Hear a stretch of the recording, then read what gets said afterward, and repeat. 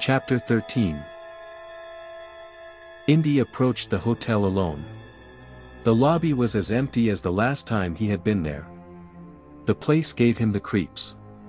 It was a ghost hotel, inhabited by spirits and gods called down by the old Babylorixa. He hoped he didn't have to see her or Joaquin again.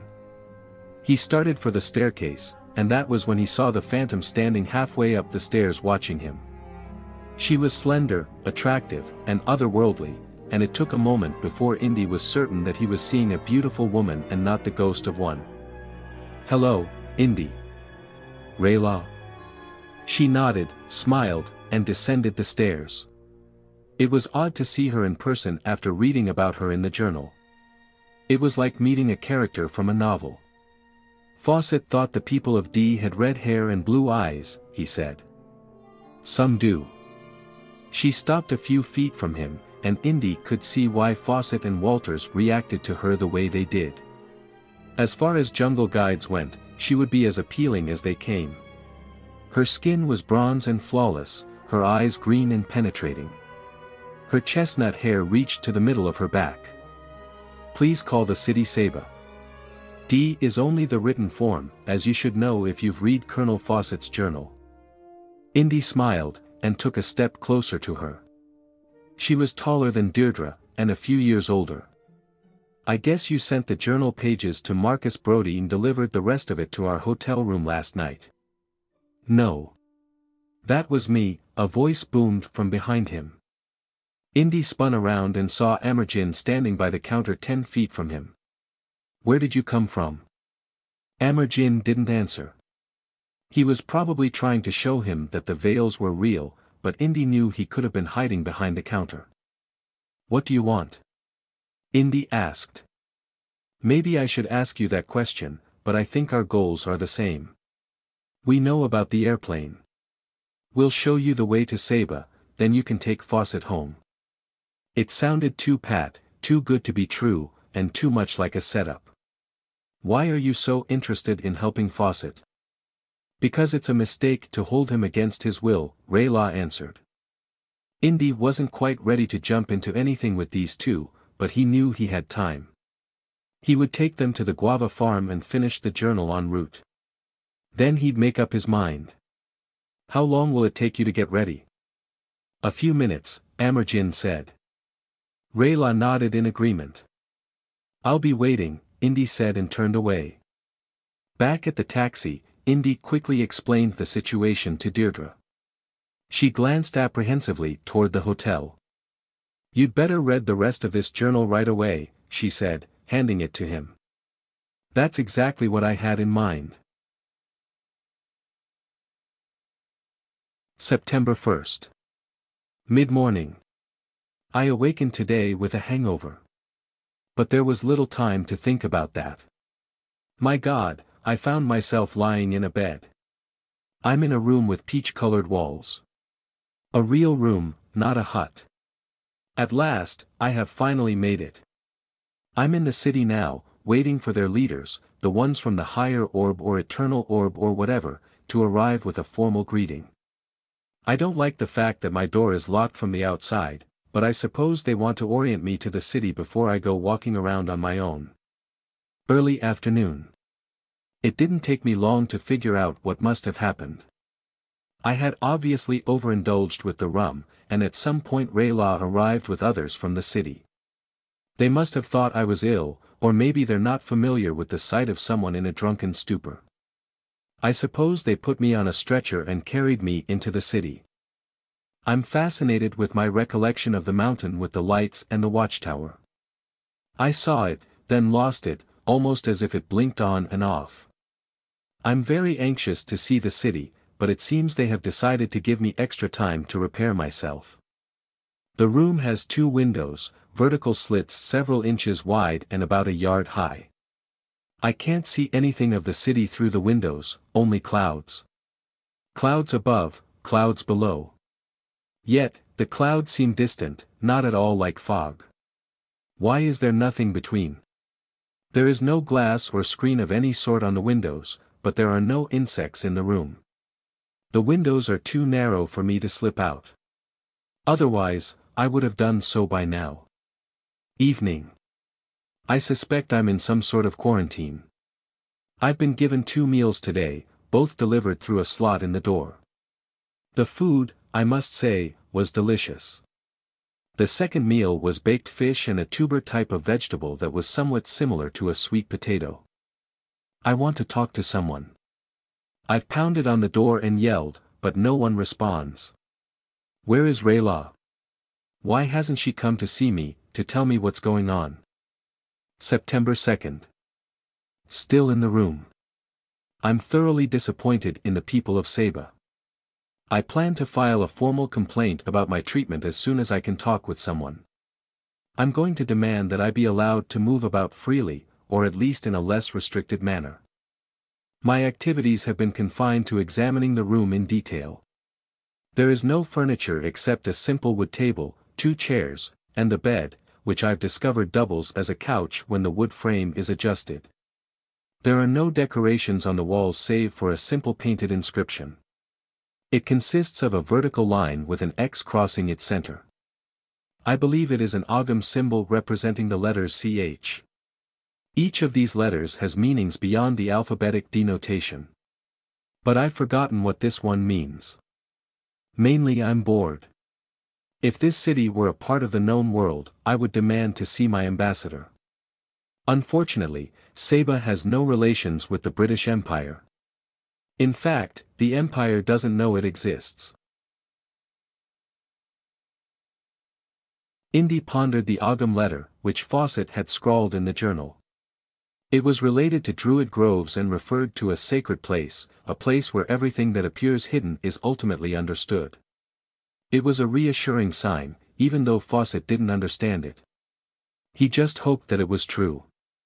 They're coming, Deirdre said. Indy looked up from the journal and saw Amerjin and Rayla heading toward the taxi.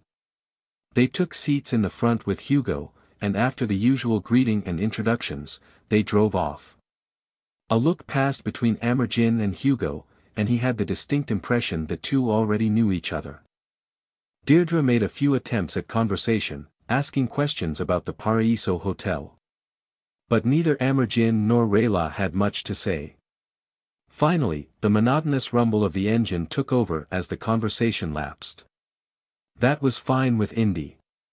He was anxious to finish the journal, and the fewer the interruptions, the better. September 3rd. Rayla finally visited me. She was accompanied by a man named Amerjin. Although she greeted me in a friendly way, she deferred to Amerjin when I questioned her about the reason I was being treated like a prisoner. He responded that I was fortunate to be here at all, and that it hadn't yet been determined how I would be dealt with. But a decision was coming soon. As if to clarify the predicament, he explained that those in the higher echelon of the society, the so-called orbs, are quite familiar with the outside world, but have no interest in becoming a part of it. Indeed, Saba's very existence is predicated on its separateness. He said that exposure to the outside would cause decay and demoralization within.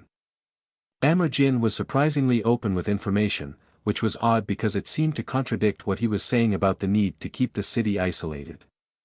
The entire range of mountains was veiled because the Sabans, as he called them, lived not only in the city but throughout the mountains, where many were farmers and hunters.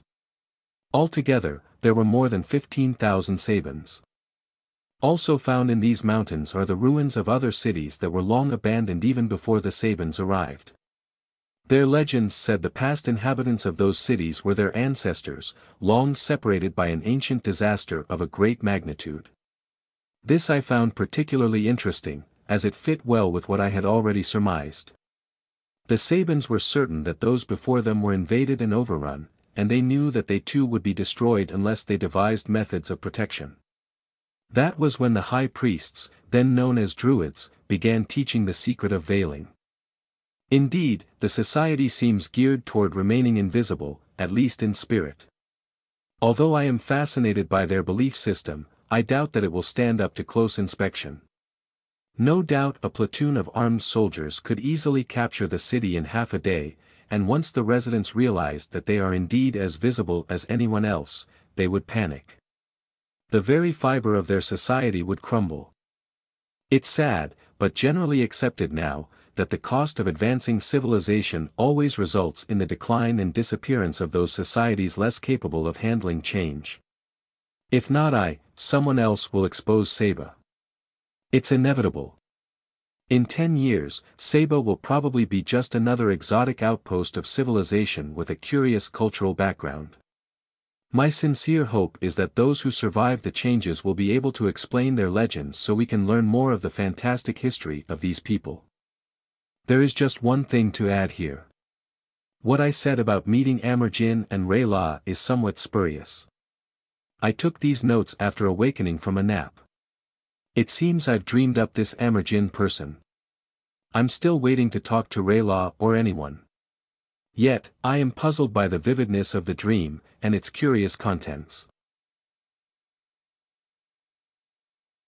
The bumpy road made it difficult to read, and Fawcett's handwriting was not the easiest to decipher. But the tale he was telling compensated for it. Indy continued reading and finished the journal before they arrived at the farm. September 6th. Late last night, a hand shook me from my sleep. I started, leaping up from bed. It was Rayla. I demanded to know what she was doing in my room in the middle of the night. When I finally calmed down, I could tell that she was distressed. She said I would be held indefinitely, to serve as some sort of breeder, of all things. She said she didn't have time to explain, but said she wanted to help me. She will be leaving soon for Bahia and she wants to take my journal with her and send it to someone who can help me. My first response was that it would take too long. I asked her why she couldn't simply help me escape. She answered that she would be exiled, and that she could not spend the rest of her life away from Saba. In the end I agreed. She's taking the journal and sending a few pages to Marcus Brody in New York. I already tore out the ones I wanted her to send. Marcus is one of the few friends of mine who accepted the possibility that the city might actually exist. He will understand and get help. Hopefully, it won't be long. I will be waiting. In the morning, I awoke and remembered another dream about Rayla.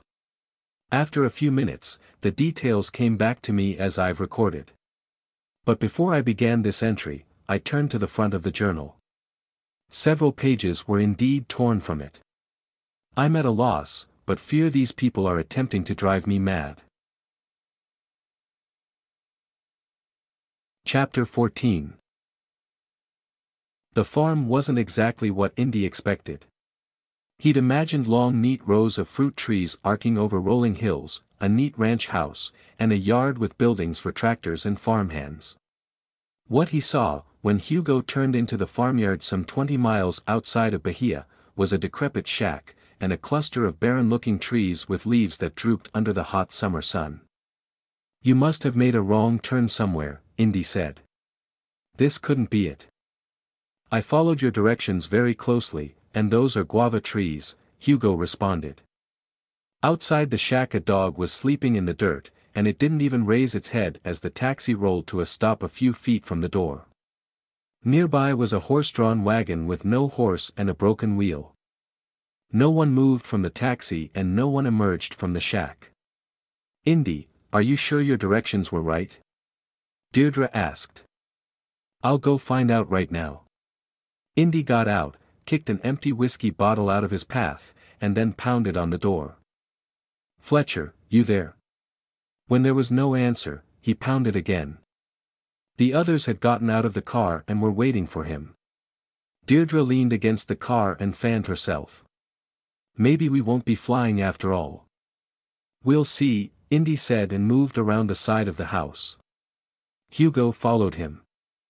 To the rear of the shack was a garbage heap with several chickens pecking on its outskirts. Beyond the yard was a wall of tall trees that served as a windbreak, and between the trunks, Indy saw the glistening surface of a lake. Indy, over here. Hugo was peering through the trees toward the lake when Indy joined him. Tied to a buoy, 50 feet from shore, was a shiny silver trimotor airliner equipped with pontoons. Well, I'll be damned, Indy whispered. A rowboat bobbed between the pontoons, and a man wearing a cap with a long bill was seated in it, painting the underside of one of the wings. He'd stopped his work, and was peering at them. Hold your horses, gentlemen. I'll be right with you. I'll go tell the others, Hugo said, and he hurried off. You must be Jones, Fletcher called to him as he rowed to shore. I've been expecting you. The rowboat touched shore, and Fletcher hopped out. The two men shook hands and exchanged greetings. Fletcher's face was burned a deep reddish brown, and showed a three-day growth of beard. He had a square jaw, blue eyes, and a friendly smile. He looked to be in his late forties, and Indy guessed he'd already done more living than most people do in their entire lives. Nice plane, Indy said. Thanks. It's a Fokker F7 trimotor. The Brazilian government is going to start an airline with flights between Rio and Bahia. They bought three of these equipped with pontoons so I can land in the bays. What are you doing with it? They hired me right out of the English Flying Club as their chief pilot, Fletcher said. They gave me this farm as an incentive to come over here. He laughed, and shook his head. Don't know what I was thinking. I don't give a damn about farming, and I'd never seen a guava. But here I am. Indy liked the man. You must have quite a bit of flying experience. Well, I flew around the world in 24. I was on the crew of the two Douglas World Cruisers that circled the globe together in 174 days. Really? Indy couldn't help being a bit odd. Pilots, after all, were the heroes of the day, and Fletcher sounded like one of the best. By the way, did you see your friend? He's been getting worried you weren't going to show up. Who are you talking about? What's his name, you know? Damn, the guy's been here two days. I should remember his name. Fletcher was distracted as the other three arrived, and his eyes darted among them. Indy quickly introduced them, and was about to ask Fletcher to explain what he was saying when Deirdre spoke up. Is the plane big enough for all of us? Well, if it isn't a Scottish lass. Welcome to Brazil. This plane has plenty of space. It's the finest trimotor passenger plane ever made. I've never been in an airplane, Rayla said in accented English. Well, don't you worry, sweetheart. You'll be in good hands with me. Who would be waiting here for him? Indy wondered as Fletcher rattled on about his flight experience. It couldn't be Carino or Oron. Neither of them could have been waiting here for two days. You can fly us into the Amazon?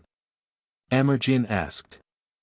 Would love to, Fletcher said without any hesitation. I'm bored to death. The way these bureaucrats are taking their time, hell, it'll be six months before we get our first flight off the ground. I mean off the water. Do you know about Colonel Fawcett? Deirdre asked. Of course. I hope I can help you find him. We'll all be famous. Where's this friend of mine? Indy asked. He's around here, somewhere. I'm sure he'll be along. What friend? Deirdre looked mystified. English bloke, like myself, but more of a thinker than me. Brody, that's it. You know, the man who sent you down here. Marcus? What the hell is he doing here? Fletcher was staring past Indy. Now who the devil is this coming? I've got a gun in his back, Jones. Don't try anything. Indy spun around to see Carino. His weasel face peered over Hugo's shoulder. Following by a few steps was Oron. I thought you lost your gun, Indy said. I bought it back from the cops, Carino snickered. You know, they're very accommodating when the money is right. What do you want? Deirdre yelled. We're going for an airplane ride, Carino said. All of us. Who are these guys, Jones? Fletcher said under his breath. More friends. Oron walked up to Indy, and yanked the whip from his belt. If you don't mind, sir, he said in his best steward voice. I'll need this to tie you up, since we weren't expecting a party. He wrapped the whip a couple times around Indy, then tied it behind his back. That should hold you just fine, sir. If you need anything else, you just let me know. Don't worry. I will. Cut the crap, Oron, Carino said. Tie the rest of them. Where are you taking us? Deirdre demanded. Like I said, for an airplane ride. Then we're going to see how well you fly on your own. Carino guffawed, his lips pulling back from his teeth with predatory glee. Indy watched Oron tie Amerjin's and Rayla's hands behind their backs. If they could vanish, why didn't they, he wondered. Maybe Fawcett's doubts were right. Maybe the vanishing act was just some sort of gimmick to keep superstitious people in line. After Oron tied Deirdre, he moved over to Fletcher. Don't tie him, you idiot, Carino snapped. He's got to fly the plane. Well, Frank, I just thought. Don't think, and don't call me Frank. I'm Mr. Carino. You got that? Now put the luggage in the boat. What about him? Oron asked, nodding toward Hugo. Let him go, Indy said. He's a taxi driver. He's got nothing to do with us. Don't be stupid, Jones. He's working for your buddy here, he said, nodding toward Amerjin. I saw them together at that phony hotel before you arrived. It's true, Hugo said. But Amerjin promised me he and Rayla weren't going to do anything bad to you. They just wanted to know what you were up to. Well, nobody likes traitors, Carino said, and without hesitating, he shot Hugo in the back of the head. The driver slumped to the ground, dead. Victor Bernard stood near the edge of the trees and watched as Julian Ray's thug shot the taxi driver, and Deirdre screamed. Unnecessary violence. He wasn't pleased, but he was glad to see that things were finally coming to a head. It seemed as if it had taken him forever to get to Bahia, and he'd been worried that he was too late. He'd come directly to the farm after spending less than an hour in the city. He'd told Fletcher he was Brody and he was here to meet Jones. Fletcher hadn't seemed surprised. He said he'd received a cable Jones sent from Rio more than a week ago, and he was expecting him any day. Now it was time to act. Bernard stepped out from the trees and strode toward the shore. I'd shoot you too, Jones, but I want you and your pretty wife to finish what you started on Sugarloaf, Carino said. And this time when you fall, you fall. Indy stared into the barrel of the gun that was pointed at his nose. He knew Carino would fire it if he tried anything, and without the use of his hands his chances weren't good. Oh, Christ, here's Brody, Fletcher muttered. Fine time to show up. Carino turned. At that moment, Indy might have kicked the gun from his hand. But he was too surprised by the sight of Victor Bernard.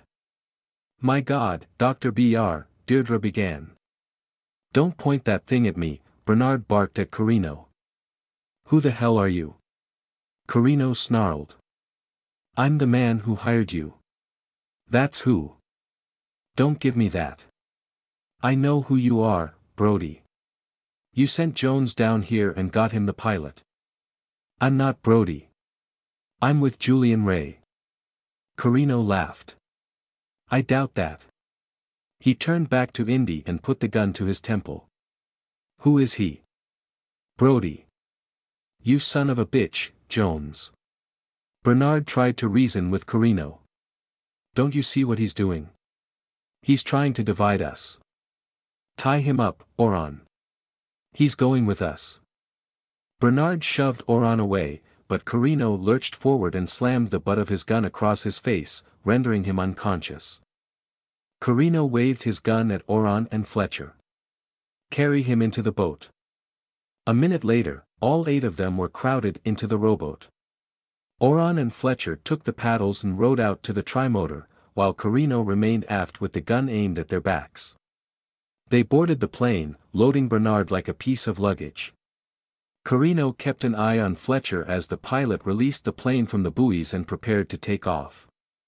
Oron, meanwhile, brandished a vicious-looking knife and guarded the two couples, who were still tied up. Guess you don't want us to get hurt, Indy remarked when Carino ordered Oron to buckle everyone's seatbelt. I don't want you bouncing off the ceiling when we take off, Jones. You'll get your chance to test your wings soon enough. Finally, the plane's engine revved to life and they taxied down to the end of the kidney-shaped lake. Indy was strapped in the front seat with Deirdre behind him. Amerjin and Rayla were across the aisle. Behind her was Bernard, who was still unconscious. Under different conditions, Indy would have been looking forward to the flight. He'd traveled by air from London to Paris and back, but this was the first time he'd been in a plane with pontoons or flown over a rainforest. The trimotor's engine rose in pitch to a high whine as they accelerated across the lake. Indy craned his neck, looking out the window. He saw the row of trees between the shack and the lakeshore rushing toward them. For a moment, he didn't think they were going to make it. Carino, who was still in the cockpit, shouted in alarm. Then, with less than ten yards of water left, the plane lifted. Its nose rose in a steep climb and barely cleared the top limbs of the trees. That was damn close, Indy said. All the while he worked to loosen the knot in the whip. When they leveled off, Carino stepped back into the cabin. He held a bloody handkerchief to his forehead with one hand, and wielded the gun in the other. What happened? Oron asked from the rear of the cabin. What do you think? I hit my head when the clown jumped over those trees. Now what? Oron asked. Get Mrs. Jones. Ladies first. No, Indy said. Me first. You shut up, Oron said. If he wants to die first, let him, Carino said. The quicker we're through with you, Jones, the better. As Oron unbuckled the seatbelt, Indy made one last effort to loosen the whip, but it was still bound tightly around him. Oron jerked him to his feet, and pulled him by the whip over to the door. The knot rubbed against Indy's fingers and he furtively worked to loosen it. Now, the door, Carino ordered. Oron gripped the handle, and turned it.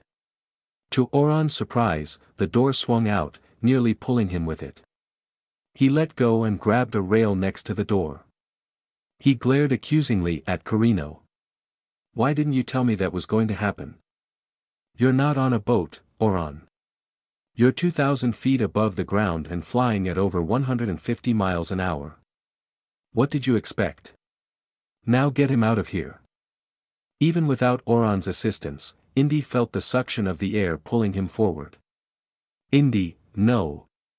Deirdre yelled. He looked up at her, thinking it was his last look. The rope was looser, but still bound him.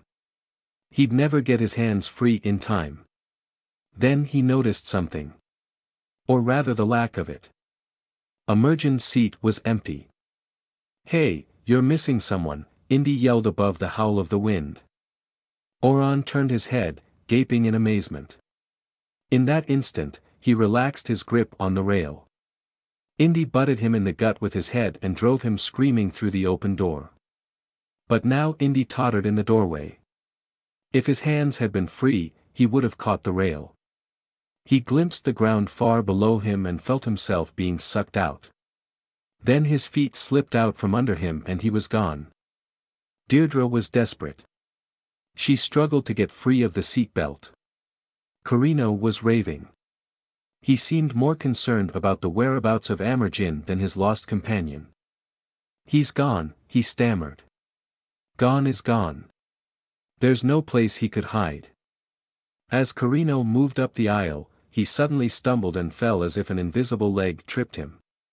The door to the cockpit was still open, and Fletcher, who had watched what was going on, didn't miss seeing Carino fall. Without a second thought, he rolled the plane clockwise and Carino slid toward the open door. He clawed at the floor, but he was losing ground. Help, help me, he called out. Then Fletcher jerked the plane a few more degrees and Carino lost his grip and shot out the door and into space. Luck was with Indy. His leg had hit the strut between the wing and frame of the plane, and he was hooked by his knee. He hung upside down, his heart pounding in his mouth. But he knew he couldn't hang for long. The rush of wind threatened to rip him free at any moment. The knot had loosened and he frantically worked the whip over his shoulders. He gasped for breath. Despite all the air, he could hardly breathe. The roller coaster ride seemed endless, but finally Indy's hands were free. He gripped the strut with both hands and the whip in his teeth. The plane tilted downward on its side, and he wrapped his arms tightly around the strut. A body flashed past him and he heard a yell. Carino. Good riddance. The plane leveled off. Indy gasped for breath, and pulled himself up the strut toward the wing until he was peering into the doorway. Someone had to see him. They had to realize he was out here.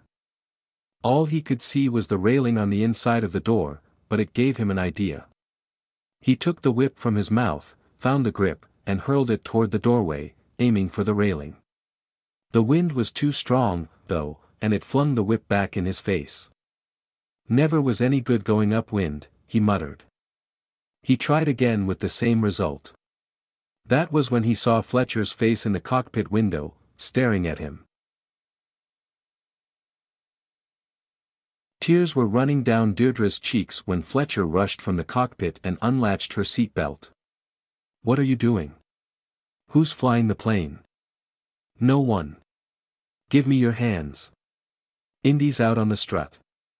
She could hardly believe what she was hearing. He's alive. My God, land the plane. Fast. Fletcher slashed at the rope on her wrists with a sharp blade. It'll take too long. The bindings popped, her hands were free. The buoy rope. It's behind the last seat. Get it. As Deirdre jumped from her seat, the plane hit a pocket of turbulent air and slipped into a roll. She stumbled, struck her head against the side of a seat, and was knocked to the floor. She felt as though she might pass out, but she fought it, and ignored the pain. The plane leveled out. Fletcher must be back in the cockpit. It's going to be okay. Indy's still alive. She reached the last seat.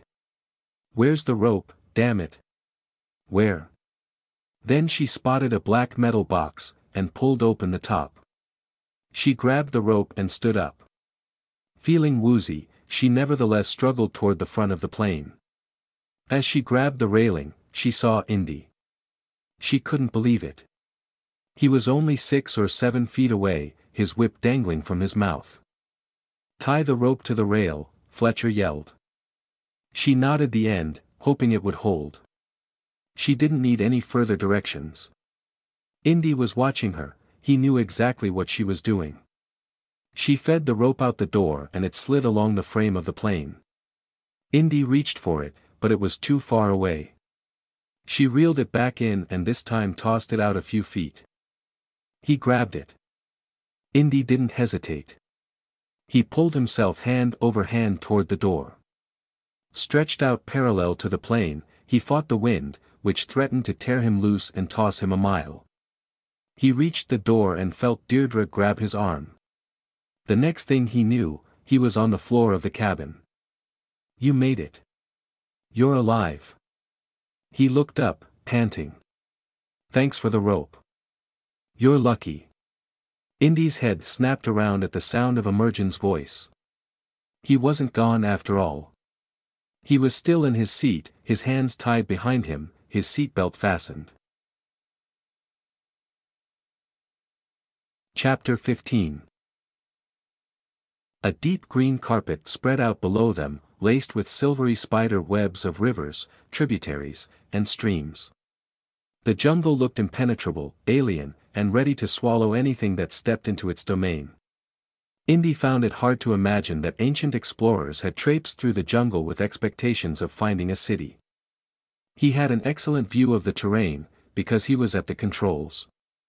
Fletcher had been giving him flying lessons, and Indy was spelling him for short periods. He hadn't taken off or landed yet, but he could maintain straight and level flight and follow a course. They had landed three times at jungle outposts on rivers for refueling, and last night had slept in hammocks under thatched huts in Quillaba, the last outpost before the great unknown. Indy was surprised by the availability of fuel, but Fletcher had explained that air transportation for commercial purposes was developing faster in Latin America than in the United States because of the lack of roads and the rugged territory. Already missionaries were relying on airplanes to fly supplies to the interior. Today was the third day since their departure from the guava farm, and the deadly confrontation with Carino and Oron. Indy had found plenty of time to mull over what had happened that first day. He figured that Brody's secretary must have unwittingly told Bernard about Fletcher and the amphibious plane, just as she told him about the journal and the rest of Indy's plans. Bernard had passed on the information to someone named Ray, who'd hired Carino, and the thug had known that the guava farm was his last chance to make good on his assignment to keep Indy from searching for Fawcett.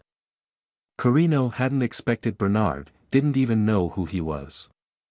Indy's initial intent was to drop Bernard off at their first stop and let him fend for himself. But the longer he thought about it, the more he liked another idea. Bernard, more than anyone he could think of, would make the best impression on the world if he returned from South America with news that an ancient Celtic-based civilization existed deep in the Amazon. Sure, he would get much of the credit, but he would also be forced to make a 180-degree turnaround in his position on pre-Columbian journeys to the Americas. Indy, for his part, would be content with rescuing Fawcett, the one who would ultimately be known for making the incredible discovery. As they flew deeper into the jungle, Indy's thoughts turned to Fawcett, his journal, and what he knew about the explorer's past. He was intrigued by the colonel, because he was both a man of action and a mystic. Fawcett had served several years as an officer with the Royal Artillery in Ceylon, where he studied Buddhism and spent his leave time following the clues in a cryptic map as he searched futilely for the buried treasure of the Kandyan kings. He'd also made several expeditions to South America in the early years of the century. Then, after serving in the war, he'd returned to Brazil. In 1920 he embarked on his first quest for the lost city, which he thought was called Z. Fawcett failed, but his hopes were hardly dimmed, because while in Rio de Janeiro he came across manuscript number 512 in the National Library. The document was the record of a Portuguese expedition that set out in 1743 for the Amazon, in search of ancient gold and silver mines supposedly discovered more than a century earlier by a soldier of fortune. According to the explorer's report, they came upon a rugged range of mountains in the heart of the wild central plateau, where they discovered an immense stone city, apparently totally abandoned. The expedition found hieroglyphs resembling Celtic Ogham inscribed on some of the stone monuments. Fawcett was uplifted by the report, and vowed to return for a second attempt to find the city. I'd better take over, Fletcher said, joining Indy in the cockpit. We should be approaching the mountain range at any moment. I don't see any mountains yet, Indy said, turning over the controls. The Serra do Roncador, or the Snoring Mountains, were supposedly situated between the Araguaia and the Xingu rivers. They'd passed over the Araguaia half an hour ago, Indy could see the Xingu off the port side. I'm not really surprised. These charts are rough guesses at best. Indy glanced back into the passenger compartment and saw Amerjin moving toward the cockpit. How's Bernard doing? Fletcher shrugged. The same. Subdued. Very close now, Amerjin said, pushing his head through the door of the cockpit. How can you tell? Indy asked. It all looks the same. Not to me. I feel the pull of the trees. Tugs from trees and disappearing acts were the sort of thing that Fawcett had lumped together in his journal as jungle lore, the product of a primitive environment, non-scientific reasoning, or maybe just too much sun. While Fawcett seemed to regard Rayla's jungle lore with skepticism, Indy knew that the adventurer was also intrigued by it. After all, if Fawcett had believed the stories of the lost city were nonsense, he wouldn't have spent so much time searching for it. Like Fawcett's, Indy's opinion on the mystical realms of ancient cultures was guarded. It wasn't something he talked about, but it was always lurking in the back of his mind. After all, he had seen and experienced a few things himself that were not easily dismissed. If he was to accept what happened to him a year ago at Stonehenge as real, then he would have to say that he had seen and spoken to none other a personage than Merlin the magician. If not jungle lore, it was his stone lore. Look there, Amerjin said. Do you see that tributary leading from the river? Follow it. You will see a lake in five minutes to the right of the river. You land there. Fawcett didn't say anything about a lake, Indy said. He didn't see it. Amerjin had said little about how they would enter the city without being seen. Every time Indy or Deirdre had brought up the subject, Amerjin's response was that he would explain when the time was right. Amerjin, in fact, was short on explanations of anything related to himself or Saba. When Deirdre had asked what had happened to him at the beginning of the flight, he'd simply told her to read Fawcett's diary, as if that would explain everything. I still don't see any mountains, Fletcher said. Don't worry about it, Amerjin answered. Indy knew that they were supposed to believe they were veiled from sight. Let us know if we're going to crash into any mountains, he said, just to be on the safe side. We're not going over the mountains. But won't we be seen from the city when we land? Indy asked, trying again to prod more information from Amerjin. We are still too far away. Indy spotted the lake, but he also saw something else, a clearing several hundred yards from the shore, with an array of round, thatched roofs. What's that? An Indian village. I guessed that. Who are they? We call them the Morcegos, but we don't have anything to do with them. The name of the tribe meant bad in Portuguese, and Indy immediately recalled his confrontation with the Mayan bat god and his real-life counterparts. Bat people? They like to hunt at night, and paint themselves to look like bats. They sound like a friendly bunch. Amerjin shrugged. They're cannibals. Oh, swell. We're going to land right in their territory. I suppose by tonight they'll be hungry and hunting. They won't come near us, Amerjin assured him. They'll think we're an evil spirit from the sky. Do they know about Saba? Very little. They won't cross the river because they think the land is enchanted. From what Fawcett wrote about it, I'd say they're right, Indy said. Amerjin ignored the comment. We once traded with them, but they have very little for us. Besides, they're busy with their wars. What wars? Fletcher asked as he circled the lake.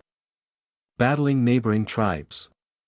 But as I said, we have no reason to fear them. Indy peered at the shoreline of the lake, but couldn't see anyone watching them. That's good to know. But I'm still looking forward to getting to Saba. That won't be possible. Amerjin spoke in a brusque voice. What do you mean? You four will stay by the lake. Rayla and I will enter the city during the night and get Fawcett. Then we will all return to Bahia. We'll leave before dawn tomorrow. That is the only way we can do it. But can't one of us go? Indy wanted to be the one, of course. But he knew who should go. Take Bernard with you. We'll see, Amerjin said. I'm going down, Fletcher said. Get in your seats. Can I see how you bring it down? Indy asked. Fletcher jerked his thumb toward the seat next to him. They came in low over the lake. The smooth, lapis surface looked like a vast runway. The trick is to avoid coming in too steeply, Fletcher explained. On land, you can bounce a couple of times on the tarmac if you come down too sharply, but on water it's a different story. So what happens? Indy asked as the lake loomed below them. You flip over. Hang on. Here we go. They dipped down, Indy's stomach lurched into his throat. They touched the water with a slight jolt, then skidded like a duck landing on webbed feet. Water sprayed on either side of them. Nice landing, Indy said, relieved that they were still upright. Amerjin came forward again and told Fletcher where to go ashore. It was halfway around the lake from the Morcegos, but Indy wished it was much further away. Fletcher taxied the plane to within 20 feet of shore, and turned off the engine. They leaped into the water one at a time and waded ashore. As Indy and Fletcher tied down the plane, the others set out in search of a sheltered spot to set up camp. Indy wondered if Amerjin was going to allow Bernard to go with them. He'd be disappointed if Amerjin refused, but he'd be even more disappointed if he and Rayla never returned with Fawcett. Indy decided that whether Bernard went along or not, he would follow them to Saba just to make sure they kept their promise. Besides, he hadn't come all this way to stop a few miles short of what could be the most historically and archaeologically significant city in the Americas. He wanted to take a look for himself, even if it was just a quick one. Amerjin moved quickly into the forest as the others set up camp. It wasn't long before he realized the Morcegos were nearby. They had seen the airplane and were moving toward the lake to investigate. He called out a greeting to them in their language. They couldn't see him, and thought he was a spirit, as they always did. He told them about the people who had arrived in the water bird and explained how they should react to them. The Morcegos had a name for Amerjin. He was the spirit of woods, and he didn't mind the title. As he spoke, he moved from tree to tree because some of the warriors were nearly able to see through the veil and probably would succeed if he stood in one place. He completed his instructions, and demanded that the warriors leave an offering of fresh meat. They argued among themselves, but then one of the men stepped forward with a fresh kill of three rabbits and laid them on the ground. Amerjin would have preferred more food, but he knew it was a sacrifice for the Morcegos to give up as much as they had.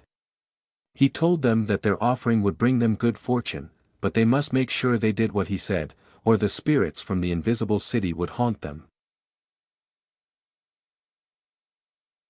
Where's Amerjin? Deirdre asked when she realized she hadn't seen him for a while. Maybe he's right here watching us, Indy said as he dropped a load of firewood. This disappearing act seems like a good way of getting out of work. Deirdre noticed Rayla watching Indy, and wondered what she was thinking. The woman made her uneasy. Deirdre's efforts to talk with her had been met either with short replies that didn't encourage conversation, or with icy stares. Rayla had hardly spoken to any of them since they'd left Bahia. But she was always watching them, especially Indy, and Deirdre didn't like it one bit. Watch what you say, Deirdre whispered to Indy. Amerjin hasn't deserted us, Rayla said. He's hunting for our dinner. A few minutes later, Rayla's words proved true. Amerjin marched into camp bearing the carcasses of three rabbits. He dropped them at Deirdre's feet. Skin them for us. You think too much. Deirdre looked uncertainly at the furry heap, then back at Amerjin. But he'd already turned away. To her surprise, Rayla offered to help her. Let's go. We'll do it together. Deirdre nodded. It was the most Rayla had said to her. But that wasn't the only surprising thing, Rayla had spoken in a language that sounded like Gaelic. Deirdre was baffled for a moment, but then it all made sense. If the people of Saba were Celtic in origin, and isolated, why wouldn't they speak a form of Gaelic?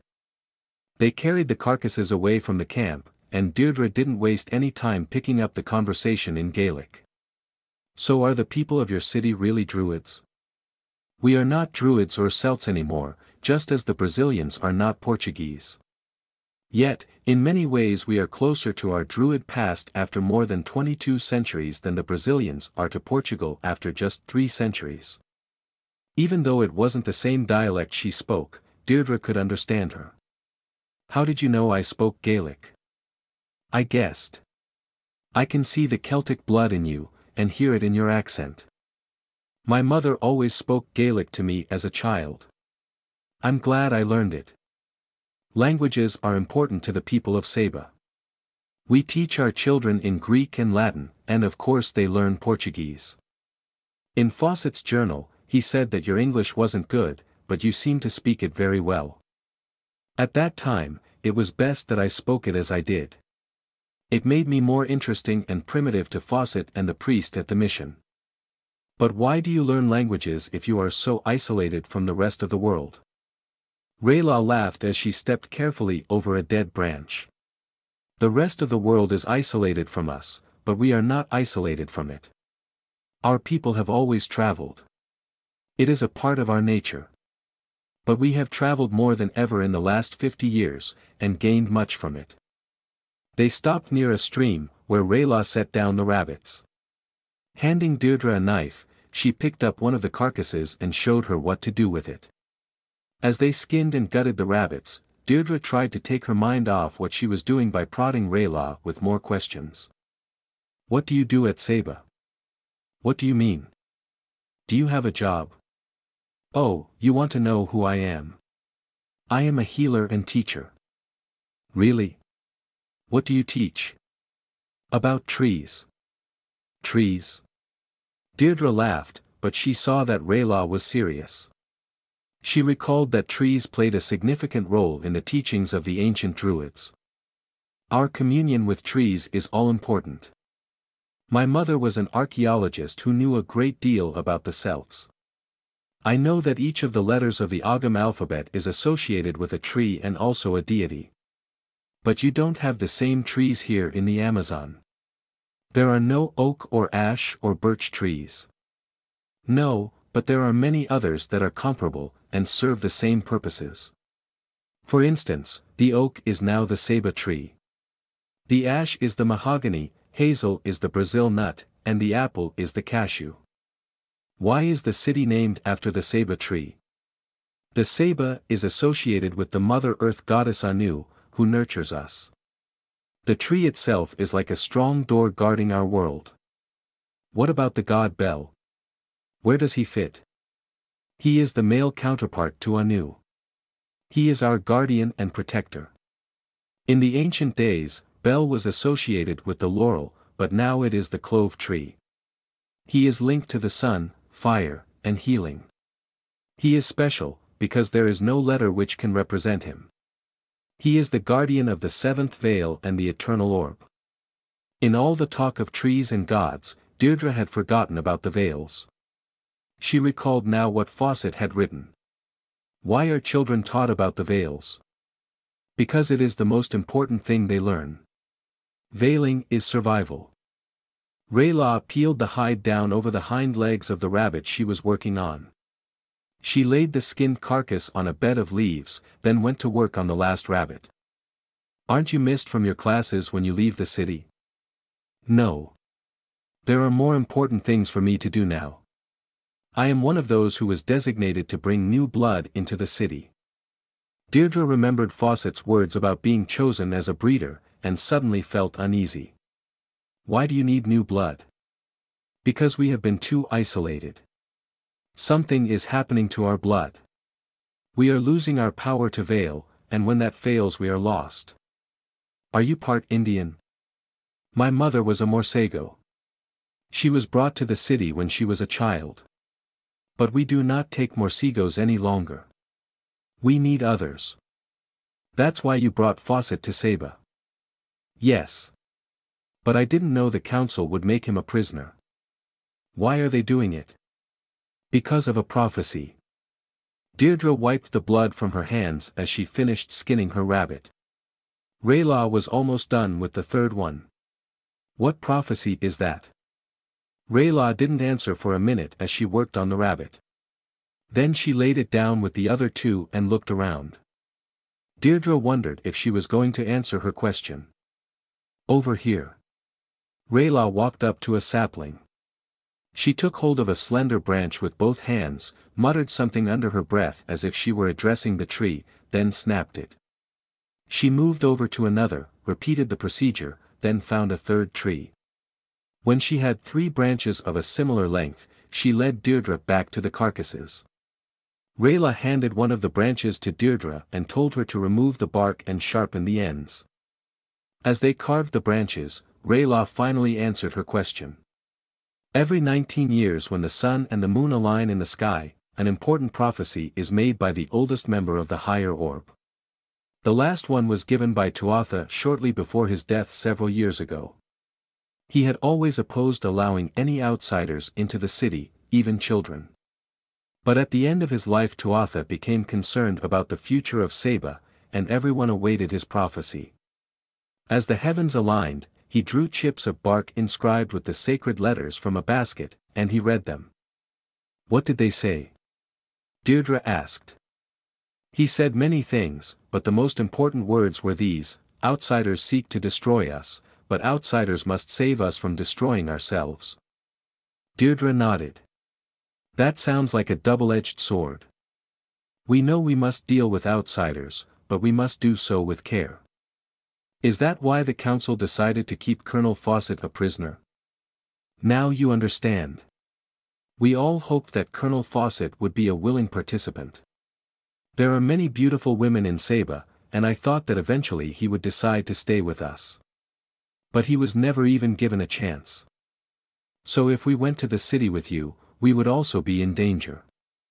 You could not enter the city without being detected, even with our help.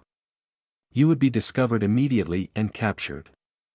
Deirdre grimaced as Rayla rammed one of the sharpened sticks through one end of a carcass and out the other.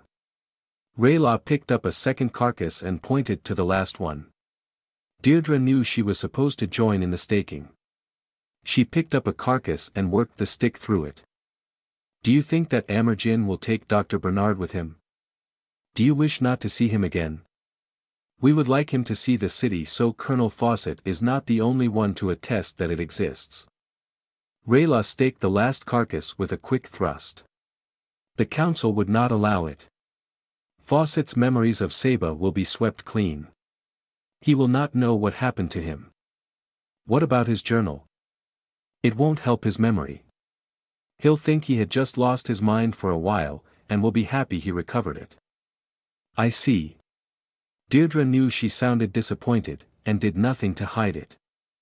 I know you and Indy would like to see the city, Rayla said as they headed back to camp. I wish I could show it to you. If you are thinking of following us, please don't. What would happen? Either you would not find the city, or, worse, you would be captured, and neither you nor Colonel Fawcett would ever be seen again. Would we be made breeders? Deirdre asked as they headed back to camp. You would be required to share Indy with other women, and you would be forced to lie with other men, and bear their children. End of Part 5 This book will be released in segments each week on our YouTube channel, free of charge. However, to help support the costs involved in creating this audiobook, the entire book is available now to our Patreon supporters. If you would like to listen to the entire book early, please visit patreon.com slash yjk audiobooks. The link is also available in the video description below. Thank you for listening, and remember to choose wisely.